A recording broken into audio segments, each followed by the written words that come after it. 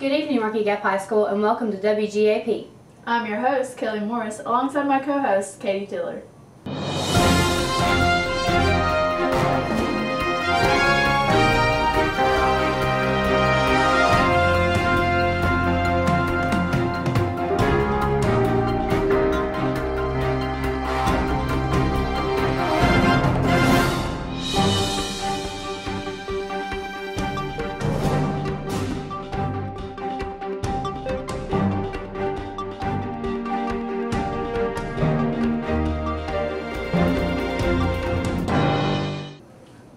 Can you believe it's already the new year? I can't. So, what's your New Year's resolution? Well, I sort of already ruined mine the first day. What's yours? Well, I haven't made mine yet. But let's go to the students of Rocky Gap to see what their New Year's resolutions are. Over to you, Matthew. Today I had the opportunity to interview some students on their New Year's resolution. Here are some of them now. My New Year's resolution is to, well, do better in school. My New Year's resolution is to get in more hunting for this next year. My New Year's resolution is to do better in English and do better at hunting and fishing. My revolution is to stop forgetting things. Thank you, Matthew. I hope everyone sticks with their New Year's resolutions this year. Me too. Now let's go to Jacob with a portion of the talent show. Sometimes she's taken me for most of an hour with the spelling book. It's all I could stand. Then she'd say, Don't put your feet up, son, Huckleberry. Don't scratch up, Huckleberry. Don't cross your legs, Huckleberry. Sit down. I'm trying to do right. Oh, then he lit into cussing. He says, I'd just like to see them with a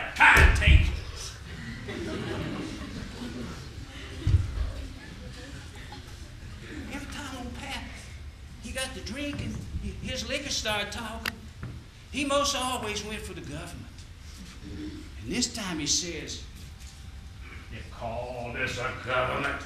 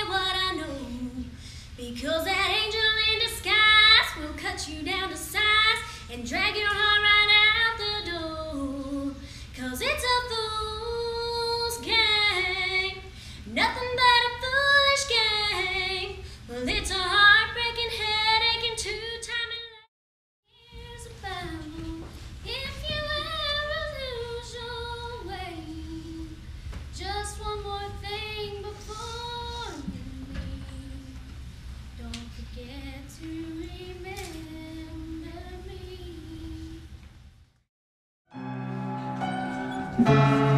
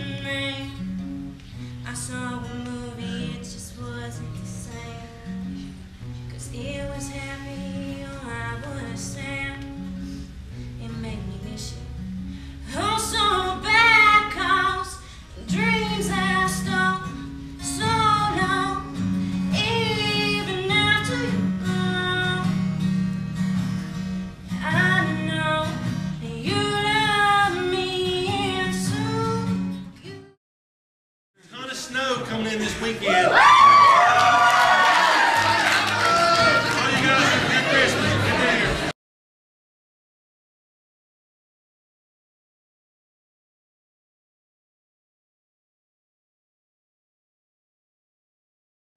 Thank you, Jacob. I didn't know our school had that much talent. Me neither. Now for consolidation. When will it happen? Which teachers will it affect? And however will we afford it? Let's go to Allison and Lauren for the story.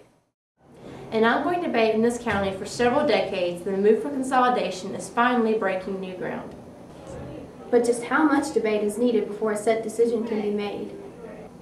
On December 29th of the previous year, a 3 to 1 approval was voted for the decision to let the school board apply for financial aid. The county now sits on a waiting list for two $7.5 million literary loans from the Virginia Department of Education. As of right now, no set blueprint or location has been established, but if all goes as planned, we're expected to have a new K-12 by the 2011-2012 school year. We now head over to the man with the plan,